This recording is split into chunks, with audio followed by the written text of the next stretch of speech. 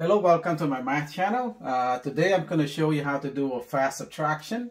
So the first example right here is easy to do. 43 minus 21 is 2, 2, 22, the answer. But the example number two is a little harder to do because uh, you, you have to use the borrowing method. So this is the easier way to do it. You look at the, uh, the bottom number right here. So 58, you just round it up to 50. And the top number, just leave alone, 56. So it's easier to subtract this way. 56 minus 50 is 6. So how do you get from uh, 48 to 50? You add 2. So you add 2 right here, so the answer is 8. So let's do another example with uh, 3 digits minus 3 digits. 5, 6, minus, uh, 7, 8, 9. Alright.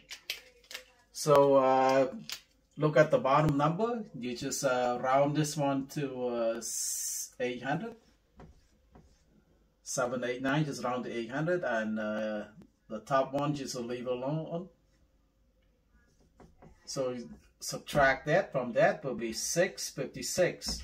So how do you get from uh, 789 to 800? You have to plus 11. So plus 11 right here. So your answer is 7, uh, 667. That's your answer. So how easy it is to do this method right here. You can do it in your head if you want to. But I'm just showing you the step-by-step -step how to do this. The fastest way, uh, the fastest way to do it. So if you like my video, please like, share, and subscribe. Bye-bye.